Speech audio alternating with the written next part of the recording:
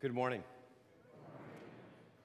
Welcome to worship here at St. John's this morning. We have a special service today. It's Palm Sunday, the beginning of Holy Week. And so we see Jesus make his journey into Jerusalem on his way to the cross for us and for our salvation. And as we follow Jesus in our lives, he encourages us, he urges us to fix our eyes on him. And that'll be our focus of our worship today.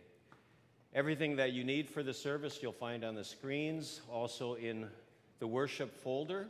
I would ask you to fill out the Connect card that's in your pew sometime during the service. If you're joining us online, welcome, and you can find your Connect card in the menu as well.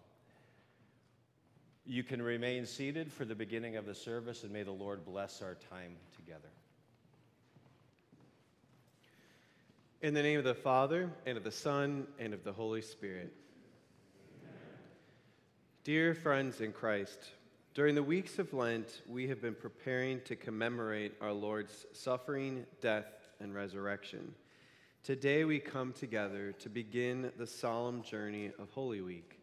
Christ entered in triumph into his own city to complete his work as our Savior and to gain for us the forgiveness of sins, life, and salvation.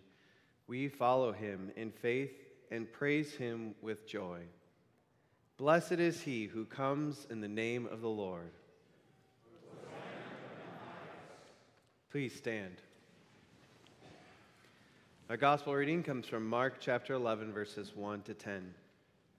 As they approached Jerusalem and came to Bethphage and Bethany at the Mount of Olives, Jesus sent two of his disciples, saying to them, Go to the village ahead of you, and just as you enter it, you will find a colt tied there, which no one has ever ridden. Untie it and bring it here. If anyone asks you, Why are you doing this? say, The Lord needs it, and will send it back here shortly. They went and found a colt outside in the street, tied at a doorway. As they untied it, some people standing there asked, What are you doing untying that colt? They answered, as Jesus had told them to, and the people let them go. When they brought the colt to Jesus and threw their cloaks over it, he sat on it. Many people spread their cloaks on the road, while others spread branches they had cut in the fields. Those who went ahead and those who followed shouted, Hosanna! Blessed is he who comes in the name of the Lord. Blessed is the coming kingdom of our father David. Hosanna in the highest heaven. This is the gospel of the Lord. Let us pray. God our Father, we remember how Jesus entered Jerusalem and was welcomed as a king by those who shouted, Hosanna and spread their clothing and palm branches in his path. Accept our praise and listen to our prayers as we rejoice in our triumphant King, Jesus Christ, your Son, our Lord. Amen.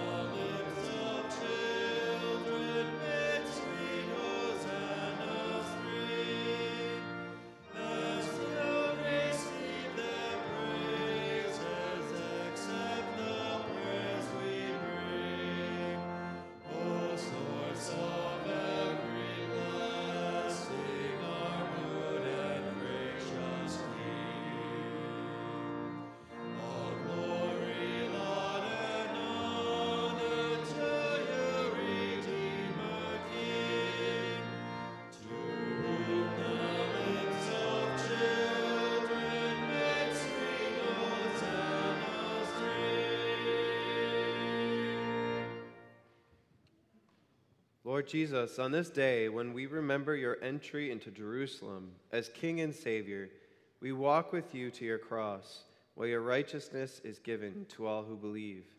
Search our hearts and minds that we may receive your word, share in your spirit, and be renewed in our relationships with you and with one another.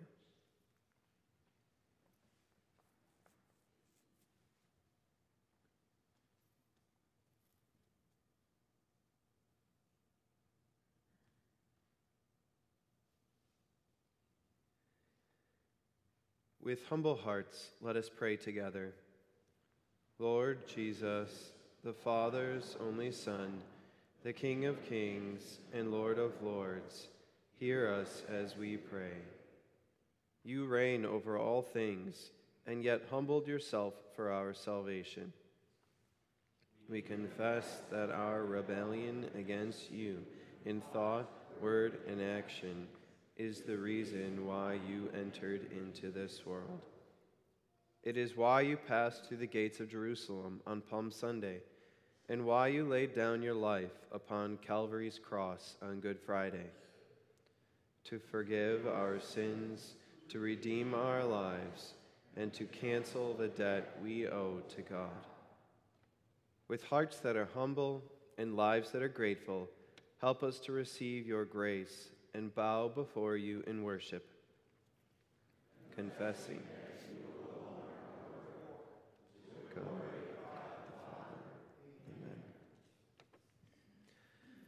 Almighty God, our Heavenly Father, shows his mercy to us in the sending of his only Son, who was handed over to death, so that we may be reconciled to the Father. Therefore, as a called servant of Christ and by his authority, I forgive you all your sins. In the name of the Father, and of the Son, and of the Holy Spirit. Amen.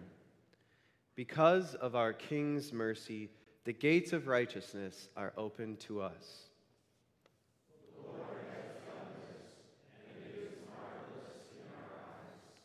Let us pray. We praise you, O God, for the great acts of love by which you have redeemed us through your Son, Jesus Christ. As he was acclaimed by those who scattered their garments and branches of palms in his path, so may we also hail him as our King and follow him with perfect confidence, who lives and reigns with you in the Holy Spirit, one God, now and forever. Amen. You may be seated.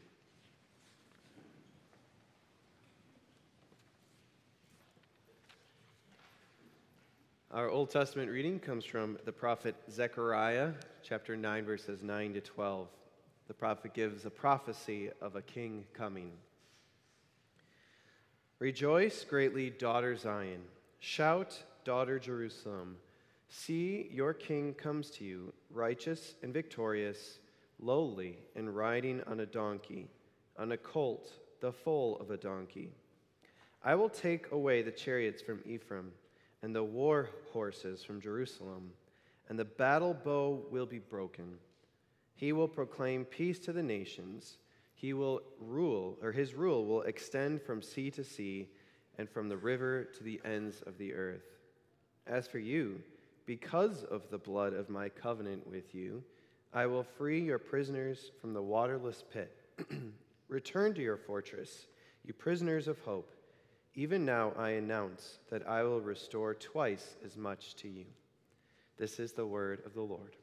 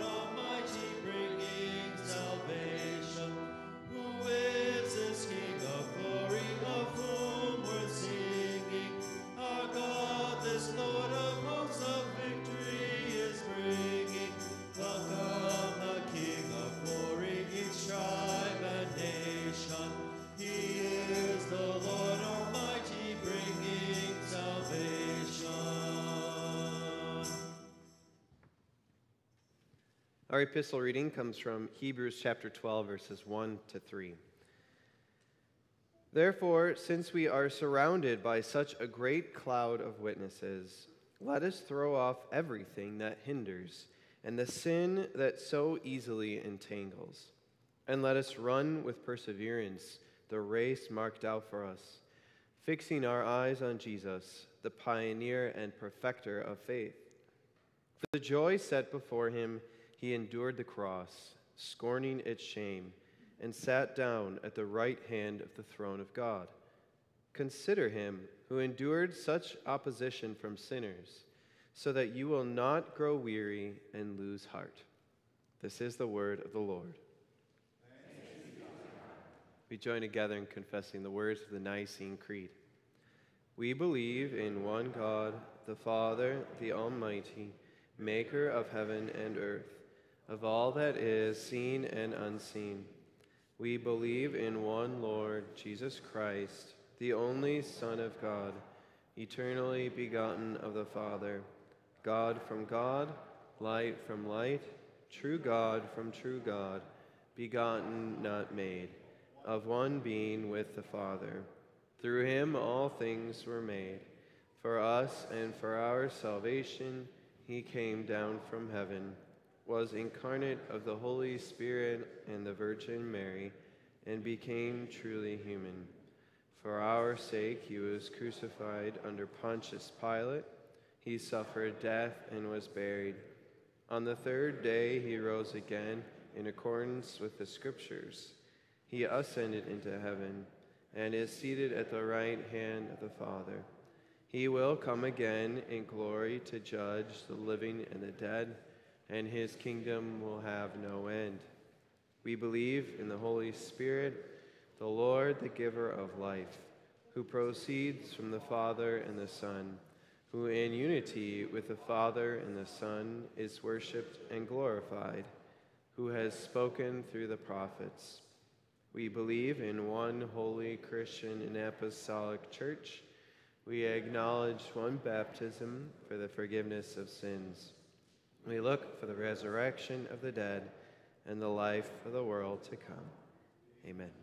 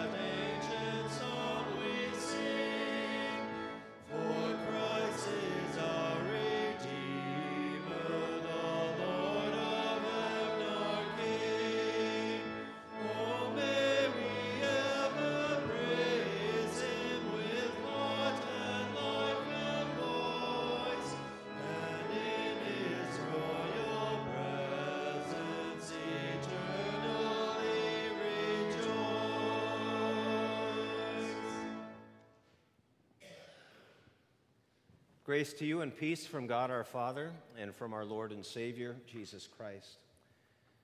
As Pastor Walther mentioned, the message today is based on that section of Hebrews chapter 12, verses 1, 2, and 3. We bow our heads to pray.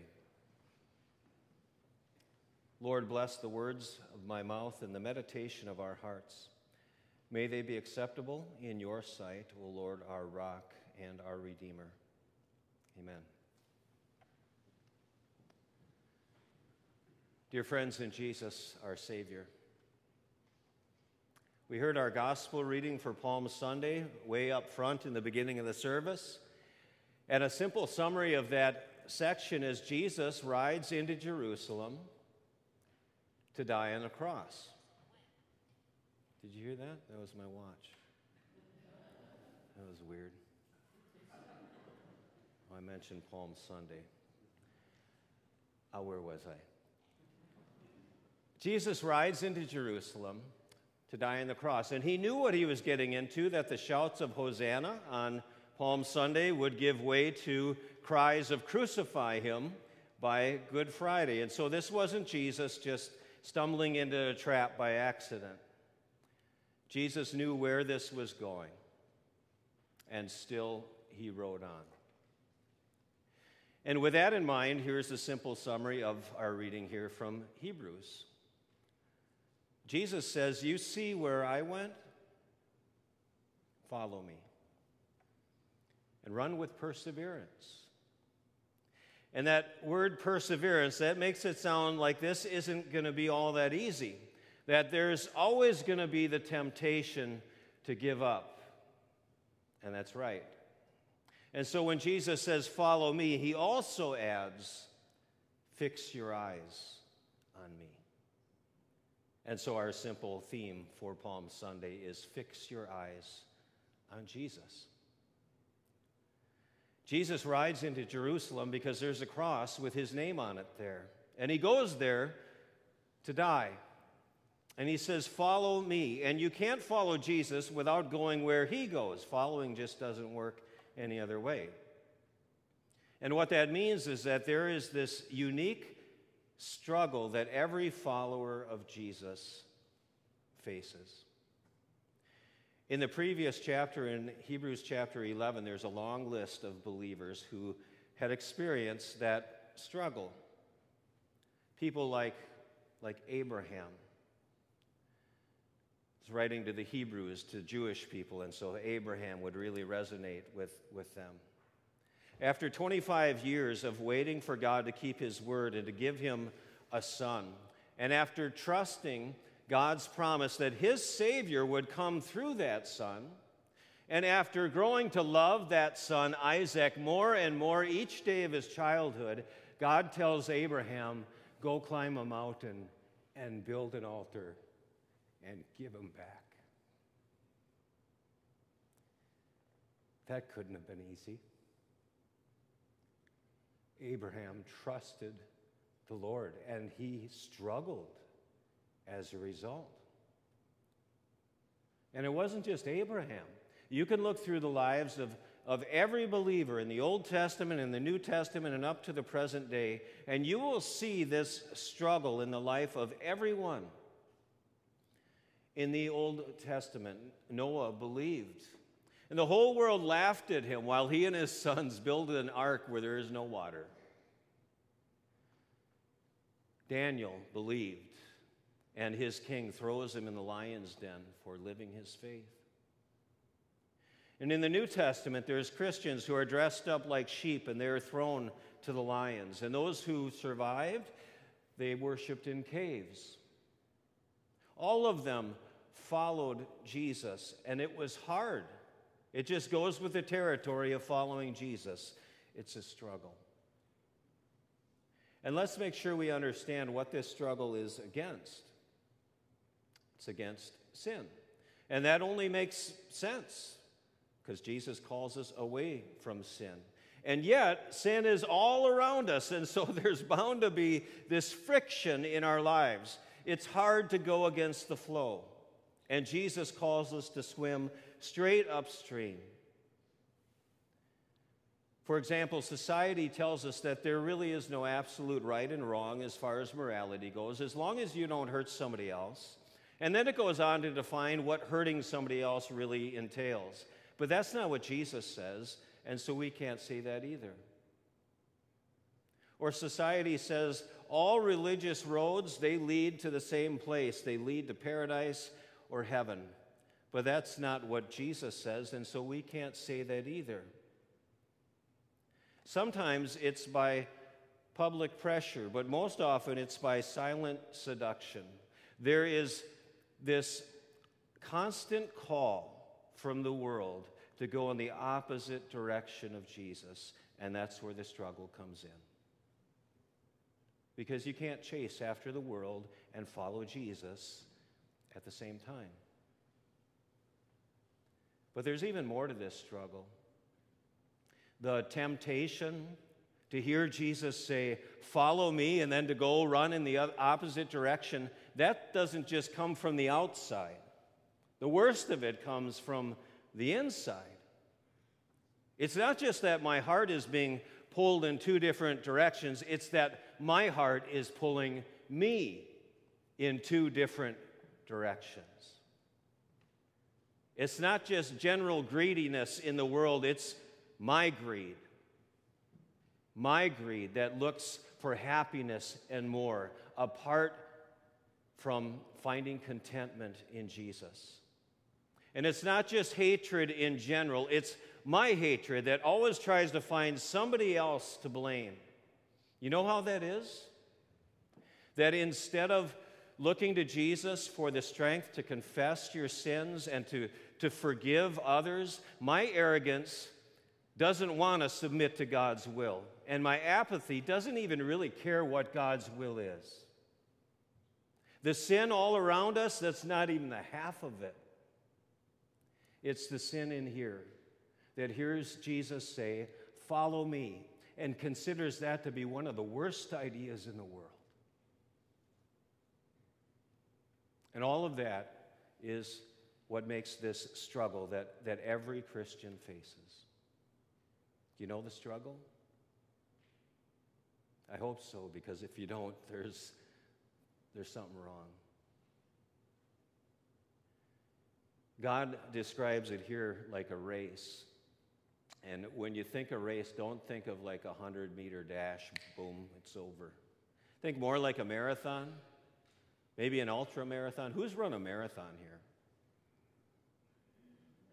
One more than last night. 5K is the best I could do, and that's when I was dating Stacy and I was trying to impress her.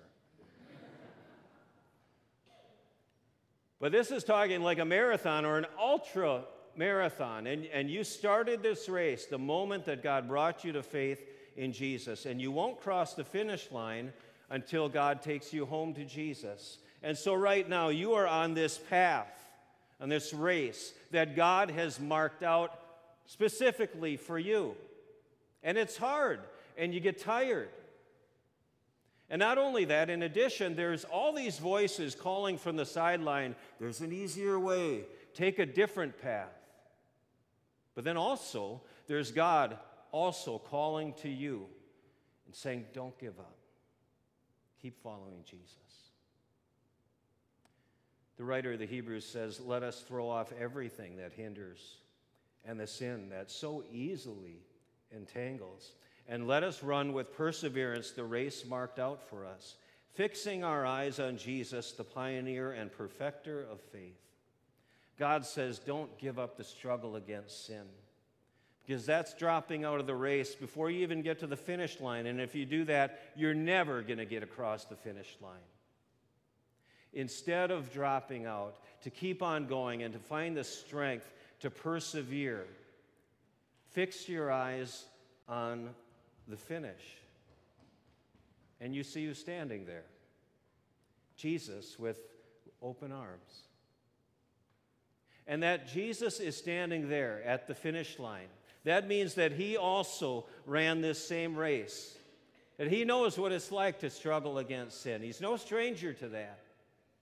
The only difference is that he didn't struggle against his own sin, he struggled against yours and mine. For 33 years, he struggled against the, the greed and the hatred and the arrogance and the apathy and everything in between. And he always persevered, never giving in, never giving up.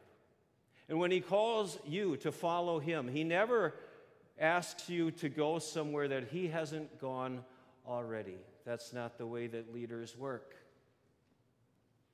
And so on Palm Sunday, Jesus rode into Jerusalem for the final lap of his race to deliver sin its final blow. And I said earlier that there was a cross there with his name on it. Maybe more precisely would be to say that there was a cross there not with Jesus' name on it, but with your name on it. It was your death that he came to die, and it was your punishment that he came to suffer. And you ever wonder what kept him going? I mean, Jesus knew what he was getting into. And when he got into the thick of it, it hurt. And he could have just snapped his fingers and said, I'm tapping out, I'm done. You ever wonder what kept him going? Our passage tells us it says that it was the joy that was set before him. In other words, it was like this prize set before him. And to boil away all of the, the figurative language from that, what kept Jesus going was you. You're the prize. It was to stand where you have fallen and to keep on going when you have quit and to pay for your sin and to take away the power of your death. It was for you. And Jesus crossed the finish line, and it's finished. And so when you think about certain sins that you've committed and you wonder, you really wonder if things are okay between you and God, or, or there's, is there something else that I need to be doing here? Fix your eyes on Jesus. He ran the race for you, and he's crossed the finish line. That's what it means that he's the pioneer of faith. He ran the race ahead of you and for you, and it is finished. And if you wonder about something else, you wonder if you have what it takes in here. You, you wonder if you have the strength to persevere so that Jesus will hand you the prize at the end. Fix your eyes on Jesus. He's not just waiting for you at the end of the finish line, He's still running His race with you. That's what it means that He is the perfecter of faith.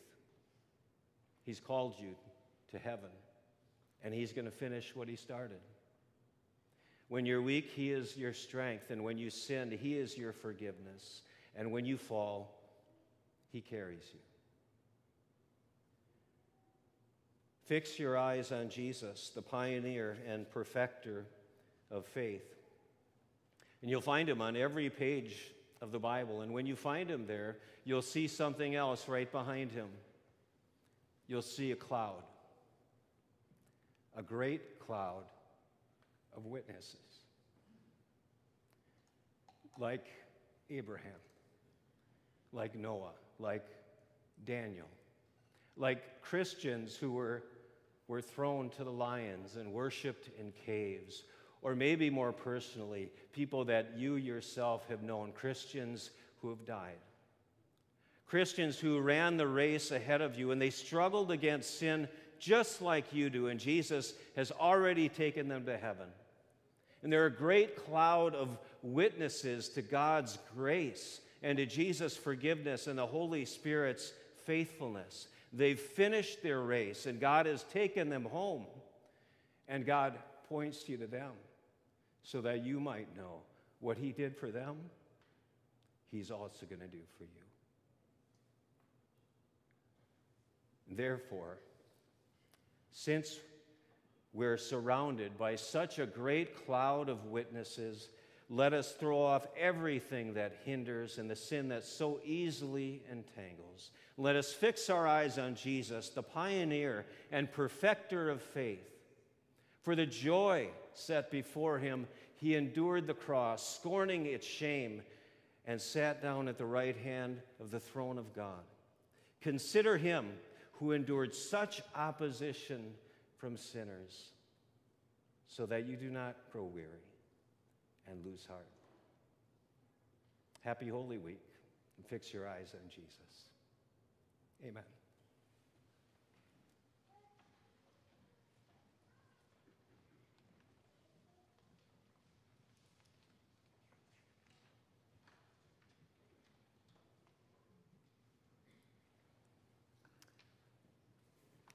Because our Lord Jesus humbled himself and became obedient to death, even death on a cross, now he is highly exalted at the Father's right hand, ready and able to receive our prayers and accept our praise. Let us go to him in prayer for all people in their various circumstances. For people without the necessities of food, clothing, and shelter, that the Holy Spirit would hear their cries and groans, bringing tears of relief and peace. Let us pray to the Lord. For all who face this day burdened with illness or addiction, ongoing conflict with people around them, or fear of what might happen, that God would assure them of His gracious presence and strengthen their faith in His guidance and protection. Let us pray to the Lord. for those who serve the needs of others as they provide medical and emergency care, as they maintain order in our communities and peace across borders, and as they put themselves in danger that their neighbors may find the protection they need, that God would use the gifts that He has placed within them to serve in compassion and love. Let us pray to the Lord. For loving families and caring communities, for schools and institutions of higher learning, wherever people gather to share and build up, that God would provide them the wisdom and understanding they need to do His will. Let us pray to the Lord. For people near and dear to us, especially Jeff Hendricks as he receives treatments for his cancer, and Amanda Hoblowitz, um, who is having recent health difficulties. Kim Geitel's relative, who is recovering from a couple of surgeries after being shot, and Sam Zacharias, who recently returned home from an extended stay in the hospital. Louise Zilka, as she recovers from shoulder replacement surgery. Pauline Yeager, who is currently in the hospital. And for the family of Scott Enter, Naomi Hathaway's brother, who you called to join your great cloud of witnesses on Friday afternoon.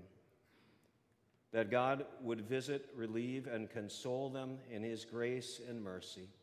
And for the church here and around the world, that our Lord would strengthen our faith and move us to be His servants, drawing people to His glorious death and resurrection, and serving Him with all that we are and have. Let us pray to the Lord. Into your hands, Heavenly Father, we commend all for whom we pray, trusting in your mercy for the sake of your Son, Jesus Christ our Lord. Amen. Our Father in heaven, hallowed be your name. Your kingdom come, your will be done on earth as in heaven. Give us today our daily bread. Forgive us our sins, as we forgive those who sin against us. Lead us not into temptation but deliver us from evil. For the kingdom, the power, and the glory are yours, now and forever. Amen. At this time, the offering will be gathered. Please also remember to place your Connect card in the plate as it passes by you.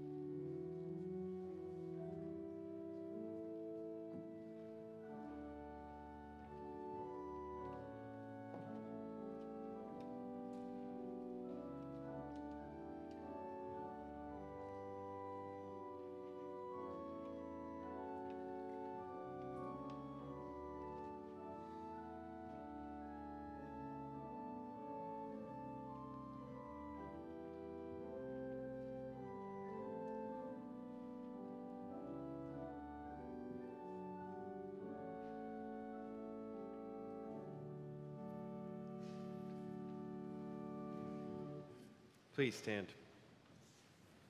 The Lord be with you. Lift up your hearts. Let us give thanks to the Lord our God.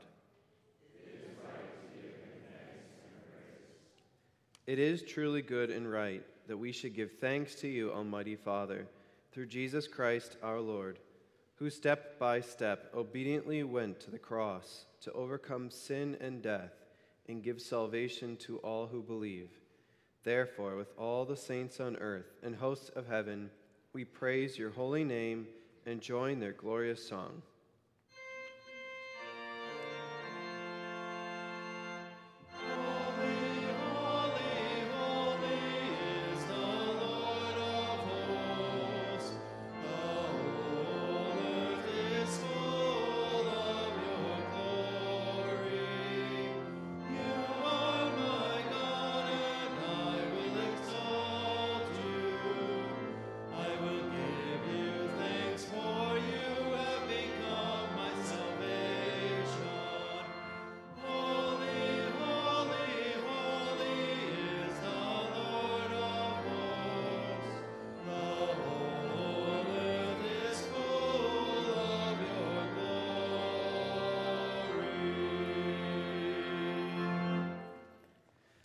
Our Lord Jesus Christ, on the night he was betrayed, took bread, and when he had given thanks, he broke it and gave it to his disciples, saying, Take and eat. This is my body, which is given for you. Do this in remembrance of me. Then he took the cup, gave thanks, and gave it to them, saying, Drink from it, all of you. This is my blood of the new covenant, which is poured out for you for the forgiveness of sins. Do this whenever you drink it in remembrance of me. The peace of the Lord be with you always. Amen.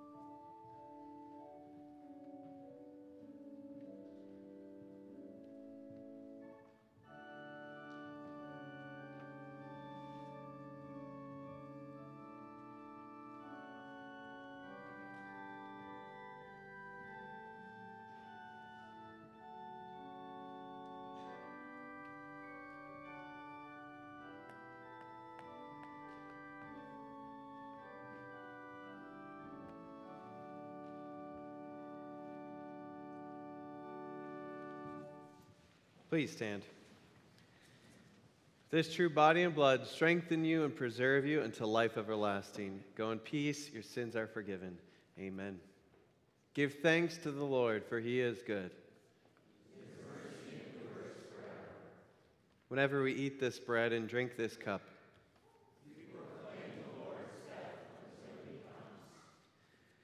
Thanks and praise to you, gracious God, for the gift of your Son's body and blood, by which we are assured that this victorious death and resurrection mean grace and every blessing now and into an eternity with you. Strengthen us by this sacrament, that we may serve you constantly in faith and fervent love. Through Jesus Christ, your Son, our Lord, who lives and reigns with you and the Holy Spirit one God, now and forever. The Lord bless you and keep you. The Lord make his face shine on you and be gracious to you. The Lord look on you with favor and give you peace. Amen. We remain standing for our final hymn.